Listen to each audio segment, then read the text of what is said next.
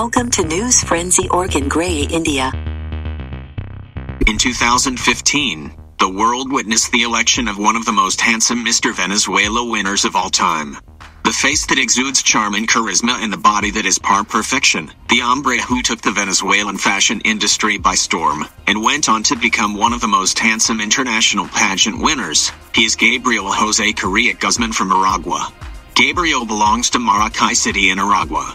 He stands 6 feet and 3 inches tall and has brown hair and brown eyes. He began his journey as a baseball player and later joined the scintillating world of glitz and glamour.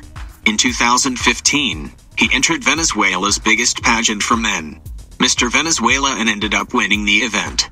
One of the key responsibilities that came with the Mr. Venezuela title was to represent Venezuela at an international pageant. In 2017, he flew to Poland to represent Venezuela at one of the biggest international Molly pageants, Mr. Supranational. He was a major crowd favorite candidate even before the pageant commenced and to no one's surprise, he won the Mr. Supranational 2017 title. It was for the very first time that Venezuela won this prestigious international event. He is regarded as one of the best looking men ever to walk the runway at an international pageant in the history of pageants.